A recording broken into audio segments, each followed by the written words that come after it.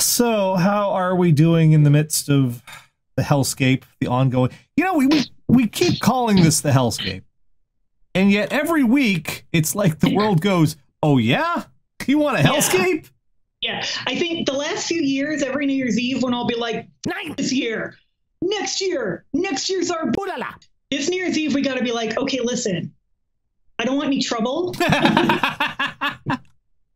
please just just just go easy on us man 2020 was a lot we need a break Yeah, just just give us a break we're in the midst of the great reopening. How's that going right now? The uh, reopen America. i heard on tv that they're going to require all florida schools to be open and all the kids to be in school every day florida's got like 10,000 new cases every day right now so that's going to go really well i think Yeah, I, I I don't think th- they're quite expecting this is not going to turn. This is not going to go the way you think. they keep thinking they can just like will this thing away. Like if we just put our fingers in our ears and sing the theme from the Flintstones, there won't be any malware. But that's not really how it works. Like, okay, you kids have had your fun. Now let's let's just get back to normal, okay? yeah, Like- that's not really how it works. I I don't think I I I don't. and like, why do we even want to go back to the norm- normal? Like, what an opportunity this is to rebuild some shit about our society that's terrible. Oh God, no! Don't do that. I know. But like, what an opportunity when everything's already kind of dismantled to be like, you know what? Because I saw a whole thread on Twitter today of teachers being like, so if I test positive and have to quarantine, is that my sick leave? Because I'm trying to save up my sick leave for maternity leave. And someone was like, don't you get maternity leave? And they were like, well, yeah, technically, but you have to use all your sick time first. Which means then when your baby gets sick, maybe we could fix things like that here while everything's kind of torn down, you know? Or or or we could fight everybody harder there you go. That's it. That's what we're gonna do. because America. Speaking of America, I've never lived in a state where anything more than like a bottle rocket was legal. Oh, those aren't legal here. Whatever. They are in Wyoming and everybody drives over the state line. Saturday night, it sounded like we were under siege. Like I was waiting for Thanos and those four elves that roll with Thanos to just come down our street.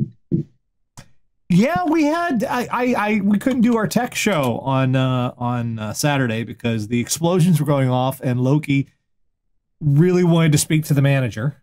Um, Yeah. Poor Simba. Like the girls are just went upstairs. They were like, "Nice, we're gonna we're going upstairs. Tell us when it's over." Simba could just not settle down.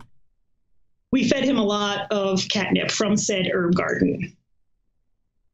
Uh, it's it's our dog. He he we we, we have him on so many drugs because there's no other way to, to just he, he wants to he wants to yell and fight. Yeah, He is so angry and pissed and scared and angry and does not like it. And they've still been shooting him the foot off. It is Yeah. it is Tuesday, July the seventh, which is not not July It's the tapered fourth. off here. Finally, it has tapered off here. It's not even July the 1st, which is Canada Day, so they kind of have an excuse, maybe. No, no, it's July the 7th. Do you know what happened on July the 7th? July the 4th was Independence Day, and July the 7th was when they finally managed to wake up Ben Franklin's night, night. He was so hungover in a bed full of hookers. yeah, they left that out of Hamilton. July 7th was the day they gave Ben Franklin some coffee. Like if you actually stay in the theater during intermission at Hamilton, there is a 15 minute musical number that is an orgy with Ben Franklin Yeah. and a bunch of hookers. They don't tell you that it's an Easter egg. Ben Franklin invented meth. True story. Um, let's get the intro going. You're so full of shit. Each week, Catherine, Radio Dead Air audience, go out in the worldwide interwebs, find all sorts of horrible stuff, bring you back here for a segment we like to call What the Fuck is Wrong with You? And of course, as is per usual this year, um, it's it's just after a Splody Day, so of course we have Splody Day stories because people can't ever not do things properly with fireworks in this fucking country. America, Um, let's start off with California. fire safety's for Europeans. Did you did you see those uh those shots from from uh July Fourth the night uh, uh, on on the news of Yeah, all the when people fireworks, Put the Blade Runner soundtrack over. all the illegal fucking fireworks going off? Did you see that video from LA? Yeah. Yeah. Well, guess what? I think we've we've solved that mystery.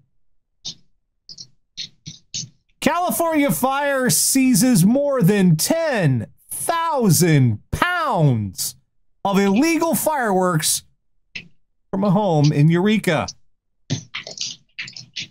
10,000 pounds. That is what, five tons? I believe it's five. I'm, I'm Sure. correct. That, that's five tons. Um, July 1st, Humboldt County Sheriff's deputies were dispatched to the 700 block of Alpha Street in Eureka to investigate the report of illegal fireworks. While on the scene, deputies located illegal fireworks, located, uh, notified law enforcement. Um, law officers seized over 10,000 pounds of illegal fireworks from the residents. I'm going to say that again from the residents. And you can tell because this guy obviously blew all the hair off of his entire head. Um, the fireworks will be transferred to uh, California State Fire Marshal and safely destroyed. Zachary Edward Brown, age 34, of Eureka, was arrested and booked on the following charges: possession of more than 5,000 pounds of dangerous fireworks. Uh, so, deliver fireworks without a permit, possession of fireworks without a permit. I don't mean to make fun. He actually has quite a nice shaped head to be bald, and the tan is even, which is extra points. So before y'all get mad at me, 10,000 pounds that's a lot. In your house. 10,000 pounds of fucking explosives in cardboard boxes in your house. That seems unsafe. A little. See, my dad was a fireman. We never got to do shit with fireworks. Like one year, we got sparklers. my parents didn't fuck around with that stuff. So Well, while we're just quickly on to the next bit, uh, wha- you- you- I wanted to say I'm going to say a phrase here that it's gonna. This is kind of a slow burn. It takes you a second to think about it, but when you do, it's just the awfulness seeps into you. And the phrase is homemade fireworks. no, now, I want to point out everybody I'm in not, the I'm not story is say anything. Everybody in the story is fine, but two injured by homemade fireworks in New Hampshire. Officials say two men were injured with what appeared to be homemade fireworks detonated in Laconia, New Hampshire. What? I need the link. Oh, hold on. Hold on. There you go. Um, Fire Chief Kirk Beattie said the explosion happened on Friday night before the 4th of July. Both victims were taken to the hospital with leg injuries. Um, one of them had to be flown to another facility for the treatment. Reports the incident being investigated by the fire and police departments. Homemade fireworks. How do you even fucking make fireworks? You, you want me to make some? No, Do you want to? He can demonstrate. You're live on the air. no, thank you. Let's we show- actually had a big controversy in the neighborhood Facebook group because some dude had like a whole mess of fireworks and was shooting them at the other houses, and it was a whole it was a whole bunch of drama. Do you know how to make fireworks? I know how to make bombs. That's not the same. Okay. Are Well- the bombs pretty? 'Cause Fireworks- to be pretty. Fireworks are supposed to be pretty. Fireworks are just bombs with attitude. Um, Well, he doesn't know the part about the attitude. That's what I'm asking. Like, how do you make fireworks that aren't just bombs? Do you throw in glitter? chemicals. It's all done with chemicals. But yeah, so- Chemicals, different kinds of powder, different stages. why in God's in a, in a country where you could just go to the fucking every fucking convenience store, And Walmart, in Rot- New Hampshire. in New Hampshire, I think you can actually buy them in New Hampshire. And you're like, no, no, I don't want no store bought. You let's do homemade. Those explode better. Evidently. I mean, the state slogan is live free or die, and it's on their fucking license plate. Yeah, live free or, or, not and. Uh, well, let's move on to um we had a big conversation today about cancel culture. Came out from Harper's magazine and all these these uh very white people, very rich white intellectuals in, in big quotes. All of um, whom have a platform and who've had somebody go, "Hey, that that sucked of you," and they think that means they lost their platform. Yeah, um they think that's censorship this, it's a time people will remember what you say. You know, you say things. The internet is forever. Um, so in that spirit, this I maybe want to rethink how you handle some of these instances. Depot woman becomes violent when asked to put on face mask in Home Depot. Quote, I believe in white power. Illinois woman has been charged with battery after she became violent and made racist remarks at a Home Depot when a fellow shopper asked her to put on a face mask. I was shocked for a moment. Looking at it now, it doesn't surprise me to hear it coming out of her mouth, the victim, uh, Cindy Waters said. Waters said the encounter on Friday left her with scrapes and bruises. She says it began when the woman in the video, identified as Terry Hill, Terry with an I, um, approached a store employee Waters was speaking with. Hill was complaining about other people not wearing masks. But while complaining, Hill took off her mask and Waters asked her to put it back on. She didn't appreciate that and she ripped her mask off, started going for the gold. She was going to spit in my face. She was going to cough on me. Um, yeah, complain. Yeah, yeah, yep, yeah, yeah. What happened there? Quote, the entitlement is disgusting, Waters can be heard saying in the video. Quote, yes, I am entitled. I'm white and I'm a woman, Hill replies. Quote, I believe in white power. Now that's one of those. If we lived in a place that was sane, mm.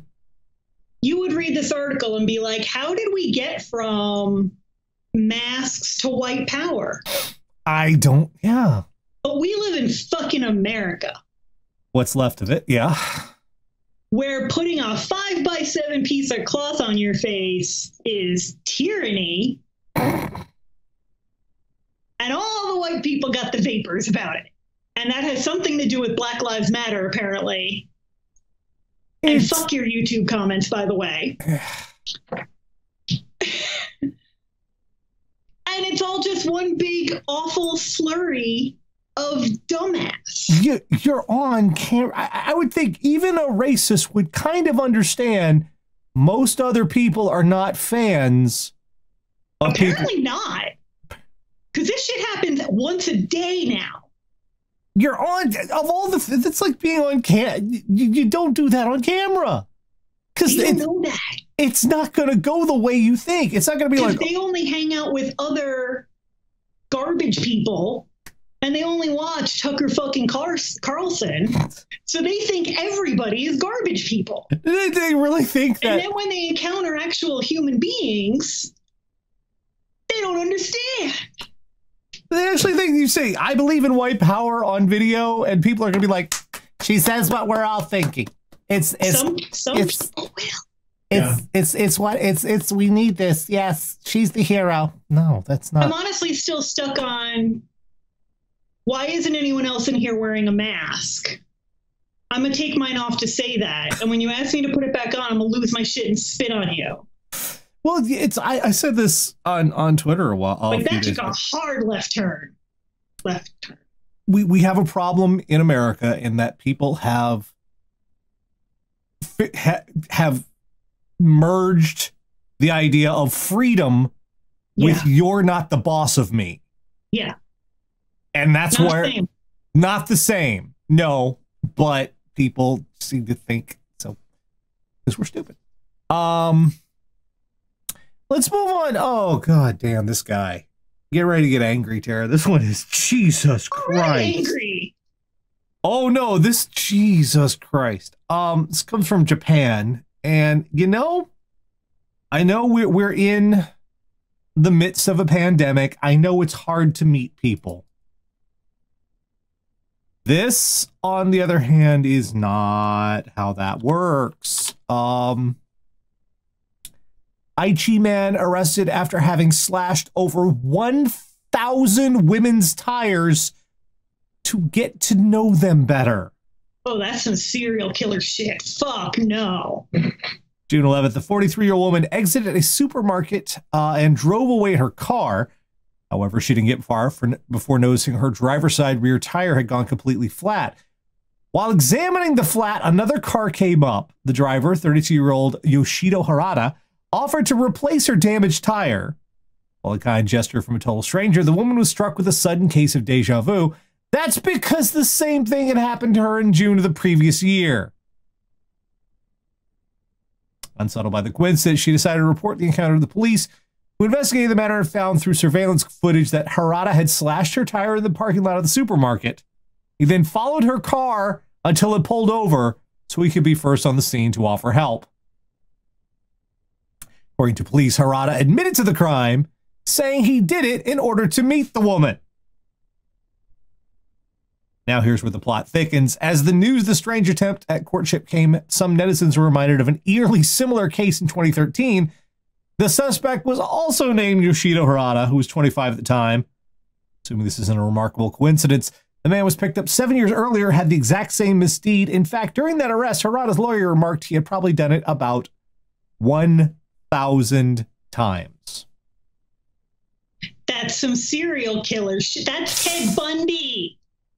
That's like the reverse Ted Bundy. And by and this shit like this is why when men are like, oh, women are so worried about it. This is the shit we're worried about. Because literally, there was some blog that called it Schrodinger's rapist. Literally, any man could be the man that wants to fucking murder us and wear our skin. it's not funny, but the way you phrase it is fucking funny.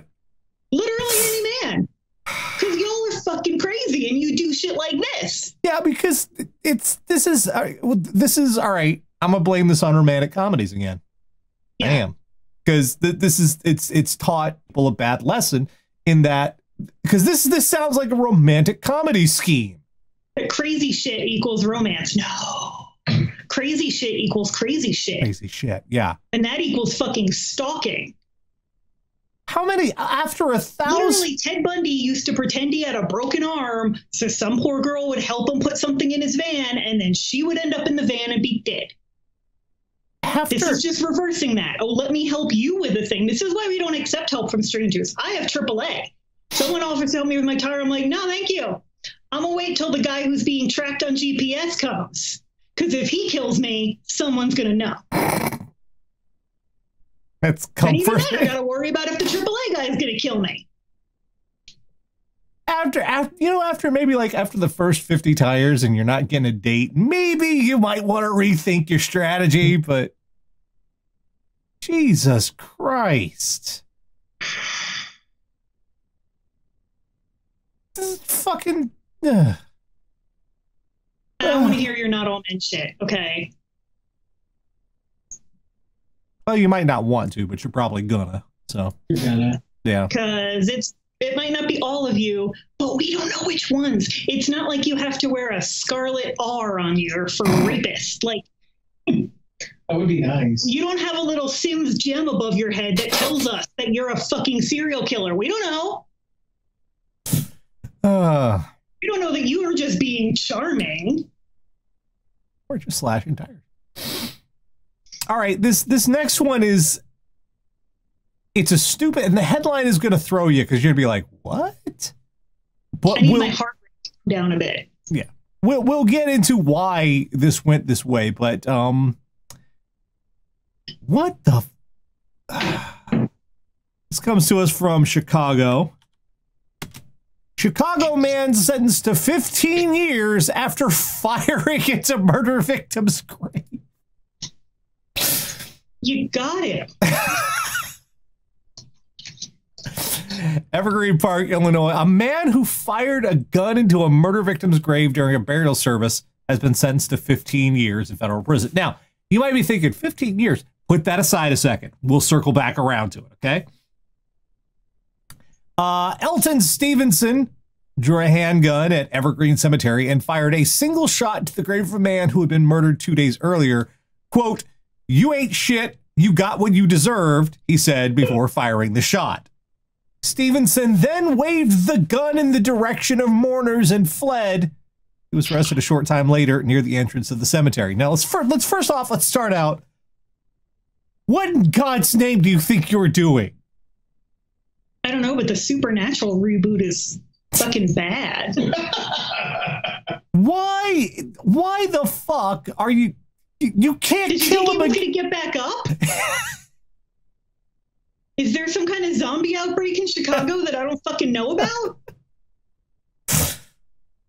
He, he can't. It's it, it's motherfucker. Did he only drink the poison that makes you fall asleep? And you're the only one that knows that? Will is, Will is like this guy's so fucking haunted. Yeah. All right, no, you guys sit there You put going. a hole in the coffin. That spirit can get out now. They nailed those things shut for a reason. Now, while some of you might be saying, all right, that's fucked up, but 15 years? Well, um, he uh, was a con- pled guilty to one count of illegal possession of a firearm by a previously convicted felon. That's, That's a no. That'll hit. you see, if he had just not shot a dead man in front of his mourning family and friends, maybe. Not doing that was free. you just maybe don't pull the gun out in front of witnesses. Maybe. Maybe not just not do that. Is that was like that I'm enough? sure it's gonna look sweet in your underground like rock video, but you're an idiot and you're going to jail. Yeah. Man, who wants to be the dude who gets in jail? What are you here for? I shot a dude. Oh man, did he die? No, he was already dead. Who needs the I wanted to make sure I wouldn't miss. like I've dealt with some dudes on Twitter that need the last word real bad. Like, who needs the last word this bad? You know what? What the uh. last word is? You got to be alive. Yeah, you the last won. word, man. You win. You got to be alive. You got to keep on living. You get to you will go on for however long. You get to say more words than he did because he's fucking dead. You know, that guy was sitting there with a bullet and a knife, like hashtag slash.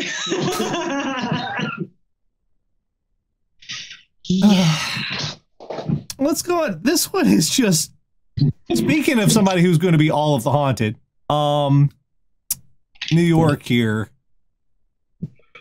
When we think art smugglers and and relics and antique smugglers, we, we seem to th- we think of people who are like you know suave and sophisticated. You know, yeah, Thomas Crown. right? Um, they aren't. Are we Um, wrong? Man accused of smuggling ancient Egyptian artifacts through JFK in dirty suitcase. A Brooklyn man was indicted for allegedly trying to smuggle hundreds of Yeah, Egyptian of a yeah, you see? How many things there of Egyptian artifacts stuffed inside dirty suitcases through JFK, including some nearly four thousand year old relics. Ashraf Omar uh, Eldir, Elderir. Thank you very much, 47, was caught at the Queens airport in January, allegedly carrying three suitcases filled with 590 antiques covered in foam and bubble wrap. All right, first we're going to start off. Um, anyone, any, if we actually have any archaeologists who work at the show, uh, who work the show, who watch the show, um, and hear that this guy is carrying ancient artifact, four thousand year old artifacts in foam and bubble wrap. They're just cringing right now. Um, when U.S. Customs and Border Protection agents opened the packages, sand and dirt spilled out, and some of the items smelled of wet earth, indicating they had been recently dug up. No, they let the sand out. Didn't you fuckers see the mummy? so the July wedge of the 2020 quarter quell is going to be at the mummy. Then. I, th- this this at least one thing in that suitcase was fucking cursed. It's 2020. This dude, so they were wet. This dude dug them right out of the ground. Fucking grave robbing bullshit. Plopped them in a fucking Samsonite and tried to fly through JFK with them. Didn't even bother to wash the shit off. No one's gonna. I mean, no one's gonna pay attention to that. It's JFK. They pay attention to everything. Like, just so you know, if you travel through JFK with your 13 inch dildo, they're handling it. Clean it before you use it. I mean, with the dirty suitcase, the first thing would have been like, you know, if it's JFK, they'd be like, "Did we dirty that one up?" Was that up? Oh no, That's it already came that LaGuardia. That's kind of more LaGuardia action. JFK's the, the the nice airport. Nice. Among the relics were objects made to be buried in the funerary pyramids of Egyptian royalty, such as gold amulets and wooden tomb models, including one that dated back to around 1900 BCE. Um, there were also two funerary stele. I, I can't. S T E L A E. I'm not sure what that word is. Uh, stele? Not st- or stone monuments to the deceased, hailing from the Roman period. Bitch, you took fucking Roman ghosts. You were going to be haunted by fucking Great Caesar. Literally. Great Caesar's ghost. Didn't they just say there's supposed to be a sandstorm across the whole United States? Yeah. The fucking mummy's out. you let the mummy out. You asshole. Did we need this? No, we did not.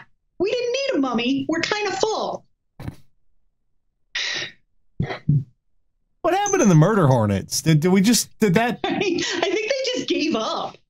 I, th- I think I heard earlier that July is angry volcanic sea otters. So the murder hornets, August. The murder hornets were like, man, we can't compete with this shit. We'll wait until 2021. We're gonna go hibernate. This is bullshit.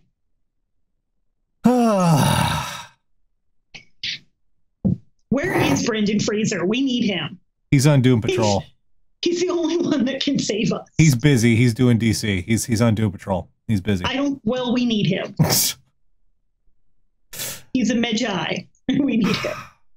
Where is Oded Fehr? Get him on the phone. We have one this last one tonight where motherfucker is lucky to be out. This is okay.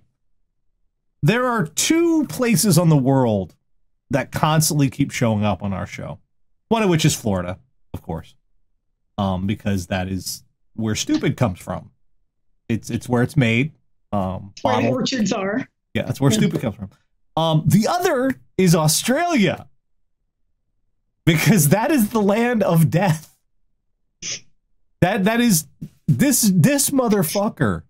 Holy shit not a lot of people know this. This is a rare little catechism nugget for you. Australia was what God created on the last day, and all the angels were giving him shit about meeting the deadline. So he just made a whole continent of fuck you because he was done. Because Michael was like, come on, man, we're up against the deadline. You got to get this done. Fine. Have every kind of snake. Queensland driver going 100 kilometers per hour uses knife to battle brown snake trying to bite him between the legs. One of the world's deadliest snakes has given a Queensland motorist the fright of his life. Jimmy, 27 from Gladstone, was driving down the Dawson Highway You know, west of. Jimmy.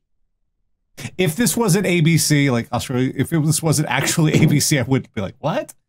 But I just um, love the no last name. Just you know, Jimmy from Gladstone. um, was driving down the Dawson Highway west of Calliope in central Queensland when he saw a brown snake in the cab of his of his truck. Um, driving 100 kilometers an hour, and it just started to I just started to break. And the more I moved my legs, it started to wrap around me. Its head started to strike at the seat between my legs. So here you are, doing your deliveries, point A to point B, and you look down, and there's one of the deadliest snakes in the world, and he's coming for your crotch. He feared he'd been bitten and he was about to die, so he killed the snake and put it in the rear tray and drove off at great speed to the nearest hospital.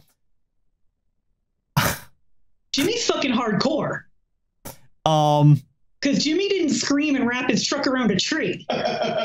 officers spotted the truck going 123 kilometers an hour and pulled him over. I'm amazed he stopped. Panda's Trick and Jimmy explained what had happened, telling the traffic officer to feel my heart. Drum was captured on the officer's body camera. Ambulance were called and determined Jimmy had, Jimmy had not actually been bitten, but was suffering from shock. How Hard blame him. how fucked up is that? He wasn't even bitten, but it, that was so stressful that he went into shock from just the experience. His body just said, fuck this. He almost got neutered by a venomous snake at 100 kilometers an hour. There's, there's, there's, yeah, they have an unusually fast acting venom and can kill within 15 minutes. He said the best thing to do is remain calm and call for help rather than run around. Well, he didn't say the, the doctor doesn't, yeah, university snake expert Bryan Fry, he didn't say shit about driving fast. Yeah. I mean, I guess the idea is the faster your heart pumps it through your blood, the faster you die. Fucker, where, I just, how, I would have lost, I- yeah, I kind of would have gone into shock too. Fuck me. Dude. I wouldn't have had to worry about the snake bite because I would have wrapped my truck around a tree and died. It would have been a very strange crime scene that they were investigating. with the snake and the, yeah, the, the, tr- the right, truck, yeah. With the snake still probably latched onto me because it would also die in the crash. Yeah. Jesus, I I cannot even. th- That's just a. That, Maybe that's, everybody does know Jimmy because he sounds hardcore. that's just a week a weekday in Australia. That's just another day at the office. Yep. The new Wolverine movie sounds awesome. Uh, Wow. I'm telling you, that's that's God's little fuck you island. just I, god damn that poor bastard. I guess yeah. The first thing we learned this week is in Australia, things can happen that don't happen anywhere else in the world. Like, that will just, you know, fucking kill you. yep. You know, are you having a, you gonna lick your butt for everybody on the internet? That's nice. Probably. Okay, good. Um, we've learned this week that uh, next time you smuggle ancient artifacts, uh, maybe don't just chuck them through JFK. Maybe just leave the ancient artifacts alone until 2021. Okay. leave Give them us. alone. We, we Yeah. need some breathing room, is what you're saying. Yeah. Um, Archaeologists, just take the rest of the year off for all of us. we learn maybe don't shoot the dead man if you're already if you could because you're going to you're going to jail for 15 years for shooting a guy who's already dead how Unless you can prove he was a zombie. how stupid are you That's pretty fucking stupid. it's like how you get fired on your day off how you go to jail for shooting a dead guy um we've learned that uh ways to meet women do not include slashing their tires The way to meet women is not by acting like a serial killer. surprisingly already- they don't. We already don't fucking trust you. Yeah, so surprisingly, women don't don't don't grok on the serial killer, killer vibe. It's, it's We already don't fucking trust you. Hmm. You don't need to be reinforcing that as a first impression. Um, we've learned that the internet is forever. So if you're going to scream your uh, your racism, it's going to be shared. It's going to follow you. That's you from now on. Yep. Forever. Yeah, the Terry Hill. Whenever anyone Google's Terry Hill with an I, I believe in white power is what's going to pop up. You you you pick that hill to die on. Yep. Terry Hill. And uh, finally, we've learned a lot of things you can do from home. Um, making your own fireworks, not one of them. Don't listen to this man. I mean, I was about to say actually. The devil is a liar. Don't listen to this man. I, I, they're everywhere. They're quite literally fucking everywhere. Yeah, They're not hard to get, especially in fucking New Hampshire. Jesus. What? That's not a good that's not a good DIY quarantine project. There's a lot of fun DIY. You can just make sourdough like everybody.